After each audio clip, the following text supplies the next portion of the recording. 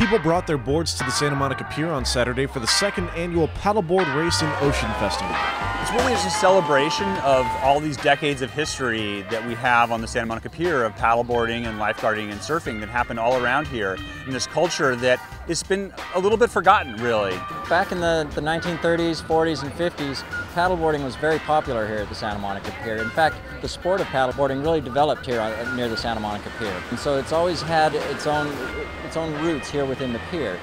As the technology of surfing increased and competitive surfing became so popular, the paddleboarding industry kind of fell, fell back the, into the background. Stand-up has really grown pretty rapidly over the last few years. It's just it's a very user-friendly sport. Um, it's it started off with people that were more doing it for surfing, but the uh, the masses are migrating to it because you can paddle in rivers and lakes and just open ocean paddles, and it's um, it's as easy as walking down the sidewalk, really, if you've got the right equipment. I taught my five-year-old daughter and my 73-year-old uh, mother-in-law how to do it on the same day.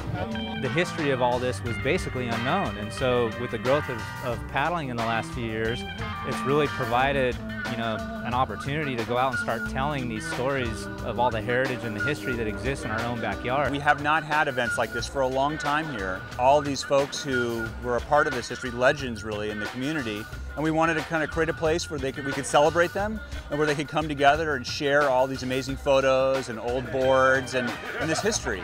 I've got like 10, 10 surfboards here and uh, probably uh, five uh, other surfboards like I've got some uh, guns and paddle boards, boards that I used to ride in Hawaii the big, for the big surf. The new boards are so much more performance um, oriented than what I used to have. Really, just a fantastic history. I'm so glad that um, it's coming back like this. And as we do this event year after year, we're going to get more of those people to come out and share their histories. For the Santa Monica Mirror, I'm Spencer Lee.